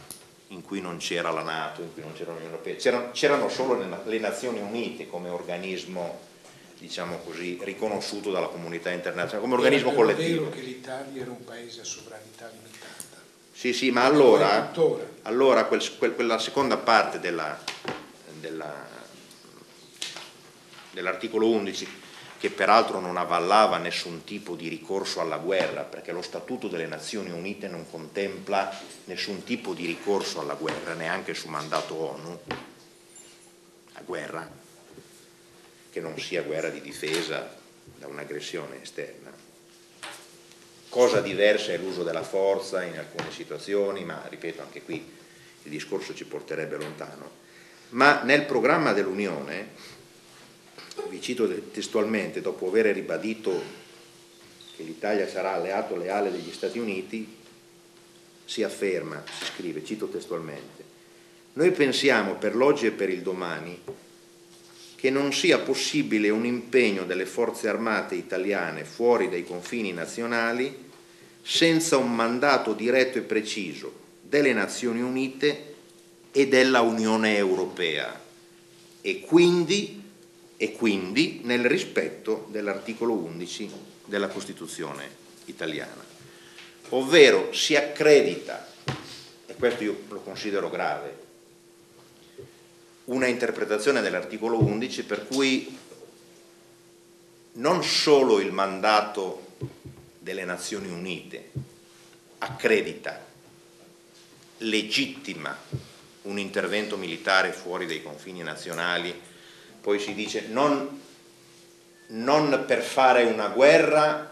ma con funzioni di polizia internazionale. Voi ricorderete bene che la prima guerra dell'Iraq fu definita non una guerra ma un'operazione di polizia internazionale, quindi anche qui l'ambiguità, così come intervento umanitario, fu, fu definito eh, l'intervento, eh, l'intervento contro la Jugoslavia. Ma si accredita l'idea che il mandato dell'Unione Europea c'è una E, no, eh? c'è una E, no. Sì, ecco. no è vero che c'è una E, ma anche qui siamo nel campo del mandato delle Nazioni Unite e dell'Unione Europea e quindi nel rispetto dell'articolo 11. Comunque il, il, fatto stesso che se ne debba discutere lo considero, lo considero un elemento dire, di, di scarsa garanzia per il futuro della politica estera italiana, cioè la possibilità di considerare un mandato dell'Unione Europea come sufficiente per poter giustificare un intervento militare fuori dai confini nazionali. Già Veniere ricordava le contraddizioni e le debolezze dell'impianto programmatico dell'Unione, soprattutto della propensione della delle maggiori forze politiche rispetto al tema dell'Iraq. E io sono completamente d'accordo con quello che tu dicevi, cioè il punto vero è che non si vuole dare un segno di autonomia e di discontinuità con la politica degli Stati Uniti, si cerca di, di conciliare la questione del ritiro delle truppe italiane eh, dall'Iraq e di collocarlo dentro un percorso che non, porti, che non rappresenti un elemento di contraddizione con la politica eh, degli, Stati, eh, degli Stati Uniti, ma anche su altri eh, anche su altri versanti che, dire, che, che, che riguardano, sì, e, e, concludo su questo punto, eh, la, la regione del Medio Oriente, questa dichiarazione di fedeltà a un impianto transatlantico non promette niente di buono per quanto riguarda il futuro atteggiamento di un possibile governo dell'Unione nei confronti di una serie di scenari di crisi che qui sono stati richiamati. Quale rapporto con la Palestina governata da Hamas, legittimamente governata da Hamas? Quale rapporto dossier Iran, dove mentre la Russia di Putin, l'Unione Europea, anche la Germania anche la Francia eh, tendono, tendono ad avvicinarsi alla posizione, non alla posizione a cui a cui gli Stati Uniti alludono sempre più di un possibile intervento militare, ma comunque a, un, a una posizione che non ricerca una soluzione politica diplomatica che rispetti la sovranità e il diritto dell'Iran ad avere una sua politica eh, nucleare civile. Non promette nulla di buono per quanto riguarda il dossier Siria e allude ad un rapporto appunto tutt'altro che di equivicinanza rispetto al conflitto eh, israelo-palestinese, una crescente subalternità alla politica israeliana, eh, non credo di di dire un'esagerazione se dico che mai l'Italia dal, dalla nascita dello Stato di Israele aveva avuto, e non mi riferisco solo al governo di Berlusconi, ma anche all'atteggiamento e all'orientamento che sta via via prevalendo anche nelle componenti più moderate interne all'Unione, una politica così subalterna e acquiescente nei confronti,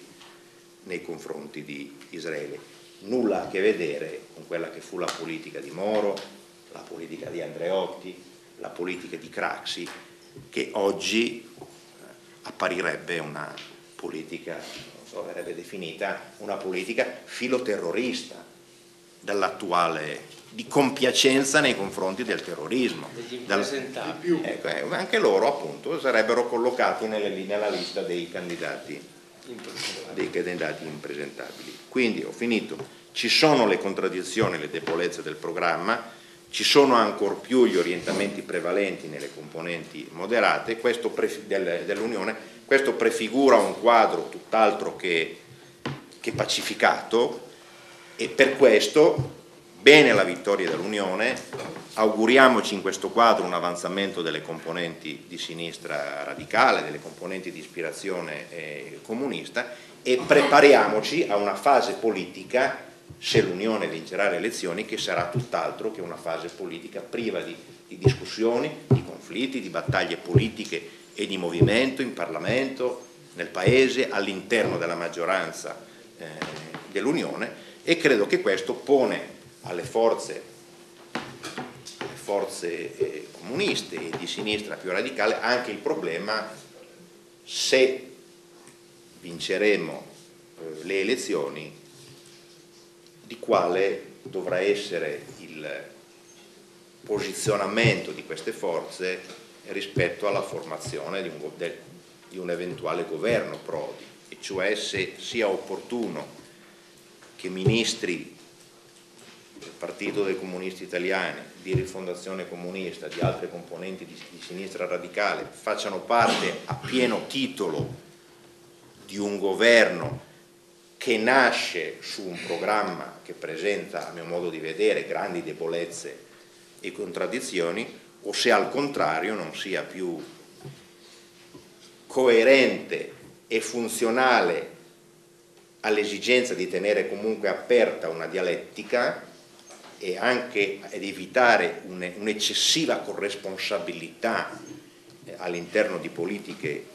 non condivisibili dalle componenti più, più conseguentemente di sinistra, se non sia eh, più, più, coerente e confacente a queste esigenze una collocazione di, di sostegno esterno, di collocazione all'interno della maggioranza ma non nel governo. Non, non, non approfondisco questo aspetto perché mi rendo conto che dire, la fase preelettorale, la fase di campagna elettorale la fase meno indicata per affrontare una problematica di questo tipo, ma io credo che eh, dopo eh, le elezioni, all'indomani del, del, del, 10 di aprile, questa questione eh, di quale posizionamento dei comunisti, delle forze di sinistra critica all'interno di una eventuale maggioranza che sorregga il governo Prodi è un problema che ci troveremo ad eh, affrontare, sarà un problema tutt'altro che, tutt'altro che, eh, che semplice per le, per le, forze che vogliono mantenere, insomma, che vogliono tenere insieme l'esigenza al tempo stesso di creare un argine alle componenti reazionarie di destra all'interno del nostro paese, quindi di non dare spazio alla destra, ma anche evitare che i comunisti comunque collocati e le forze di sinistra critica vengano risucchiati in una logica di avallo subalterno, in questo caso ad una politica estera che su molti aspetti è una politica estera che non,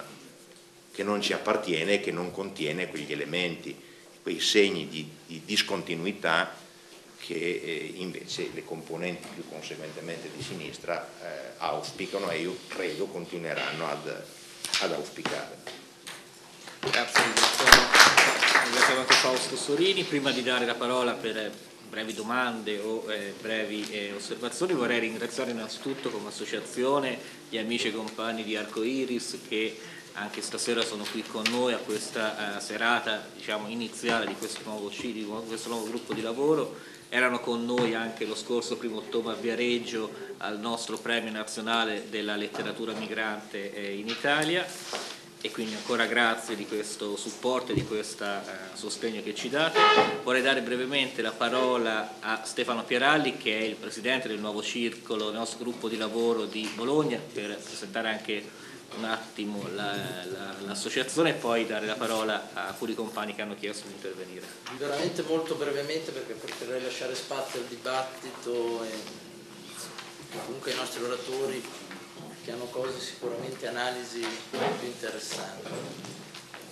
Volevo semplicemente precisare cosa stiamo cercando di fare perché abbiamo voluto far nascere il punto critico anche a Bologna abbiamo sentito dalle analisi autorevoli di stasera quanto sia difficile la situazione complicata sia a livello di geopolitica internazionale sia a livello di alleanze di governo del nostro Paese. Riteniamo quindi che sia necessario rilanciare in termini di analisi, ma anche se si vuole quasi di pedagogia, eh, una, una, riflessione, no? voler rilanciare adesso nel nuovo secolo cosa Cosa vuol dire fare una critica geopolitica di ciò che sta avvenendo, dei processi imperialistici in atto, incominciare a capire quali possono essere l'analisi di una ricostruzione a sinistra del nostro paese, dei processi mondiali, comunque molte delle cose che abbiamo sentito stasera. Come fare questo? Mm, noi viviamo in un paese, particolarmente in Italia, dove la sinistra, le intelligenze, le persone che analizzano, più competenti, no? Su questi temi, le forze che naturalmente in altri paesi casomai si trovano assieme, ragionano e si muovono in forza, noi in questo momento in Italia abbiamo una, una sinistra delle forze progressiste sparpagliate, divise in vari partiti, fuori alcune addirittura spasso a casa non fare più nulla. Per cui solo l'elemento partito non diventa e non è di per sé risolutivo dell'analisi della possibilità di mettere assieme più persone, più menti, più forze capaci di analizzare e di fare pedagogia. E non solo nell'ambito, io ricredo, comunista di sinistra, cioè,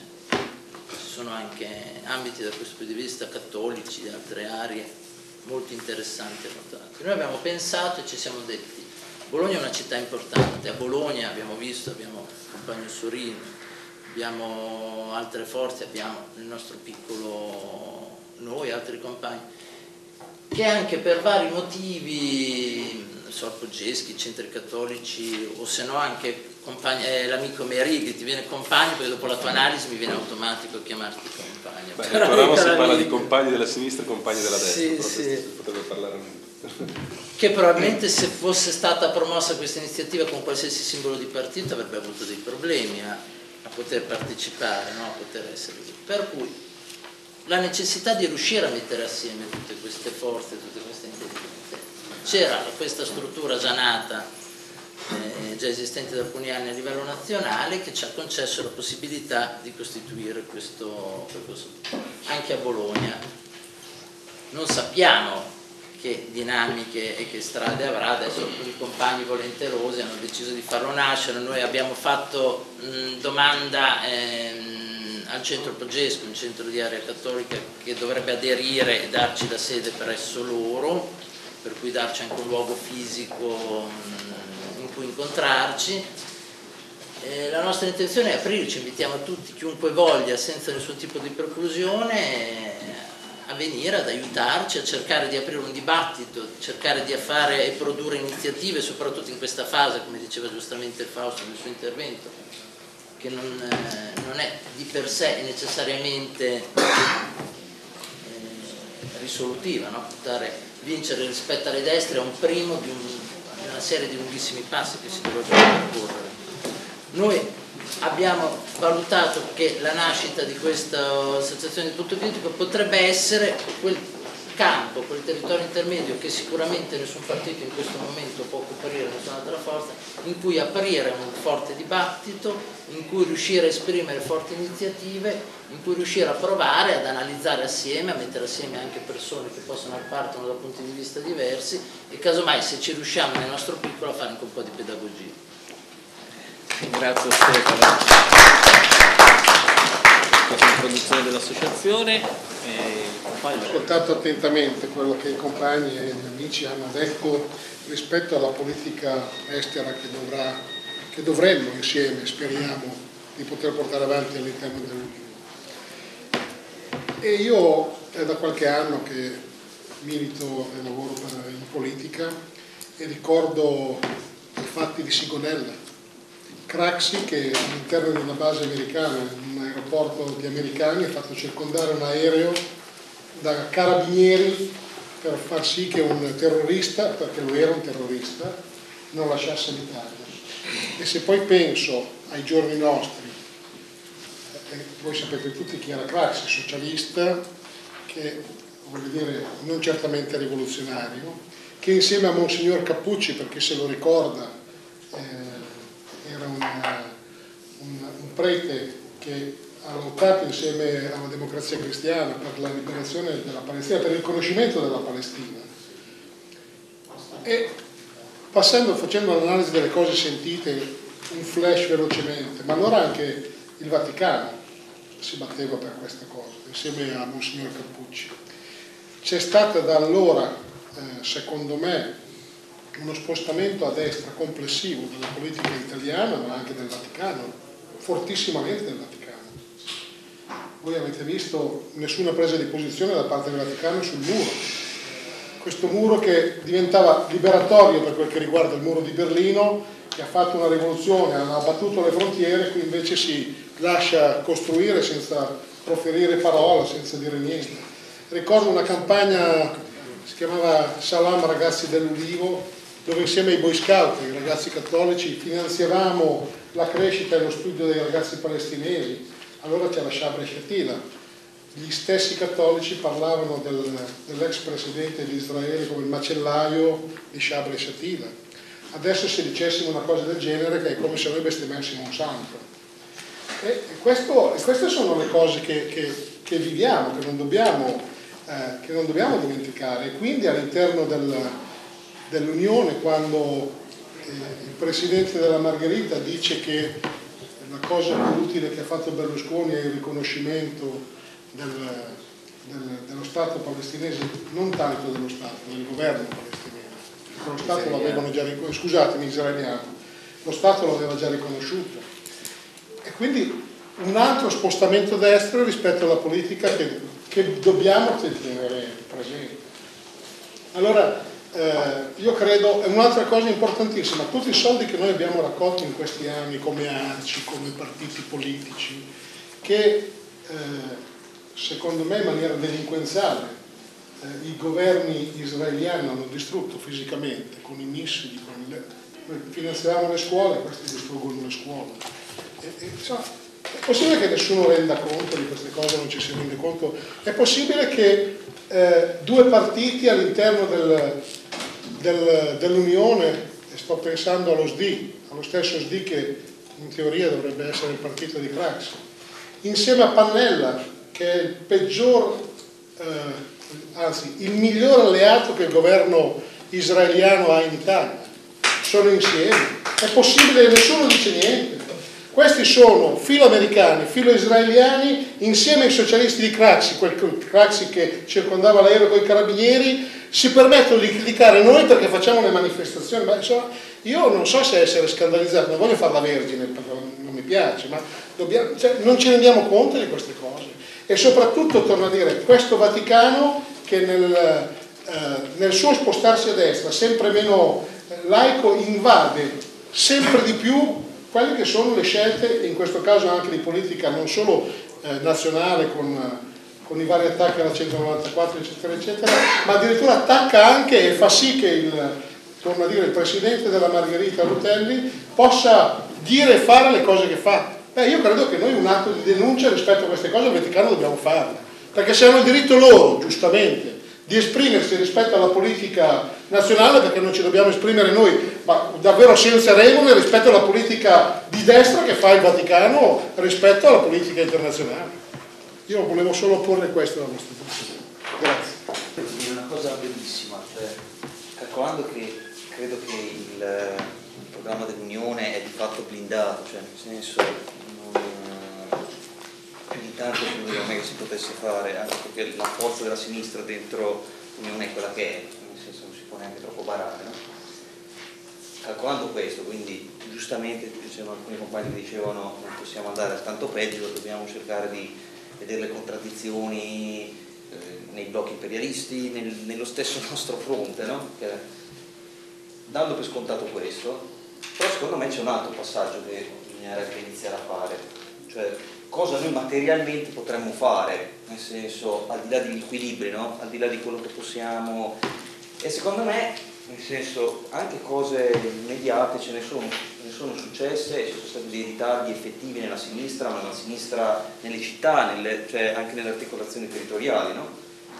Io penso all'attacco che hanno fatto ormai continuo contro, eh, e non per ringraziare, eh, per, rispetto alle comunità islamiche qua in Italia, cioè attacchi all'imam quando non c'erano certi di dichiarazioni e tutto,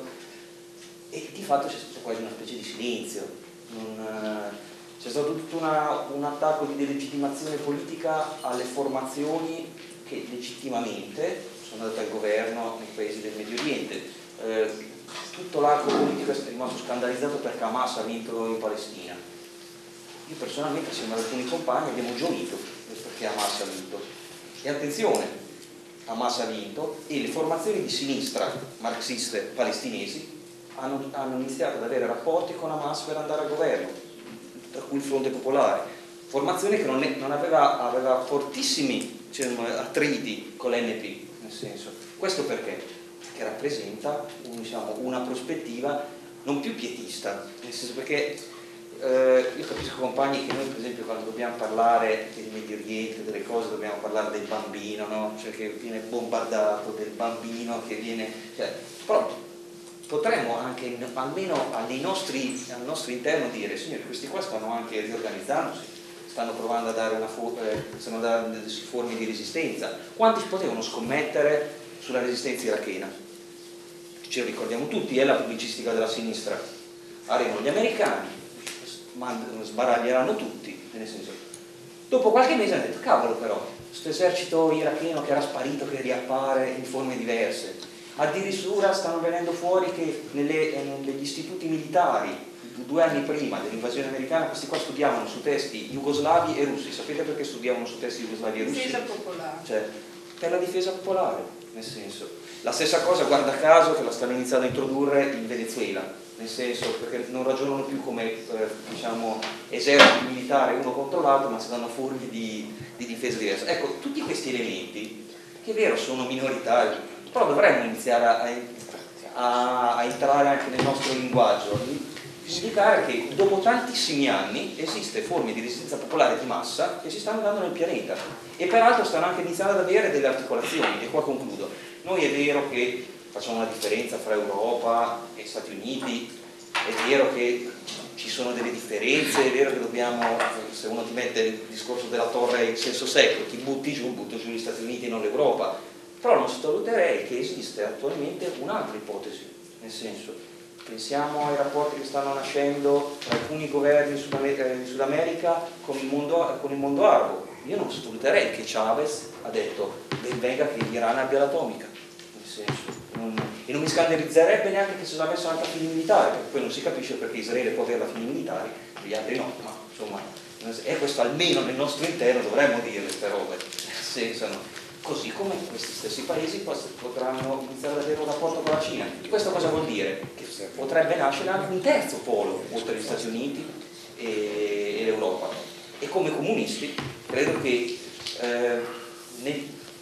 dovremmo guardare a quelli, cioè, e concludo con una battuta, negli Stati Uniti i bianchi che lottavano assieme ai neri vengono chiamati traditori della razza, no? Nel senso, c'erano addirittura dei gruppi di bianchi che si chiamano noi siamo i traditori della razza, cioè ossia la nostra la nostra stessa pelle, no?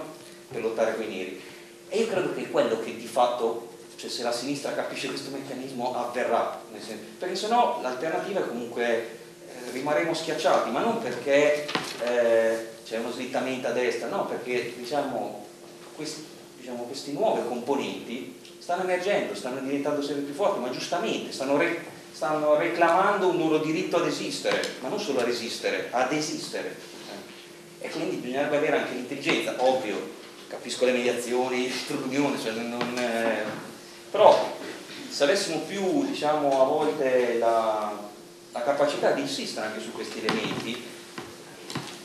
secondo me diciamo, alcuni spazi si potrebbero aprire e soprattutto si darebbe un'idea di una prospettiva in avanti, che di difesa di, un sempre, eh, una cosa che si sta sempre più restringendo.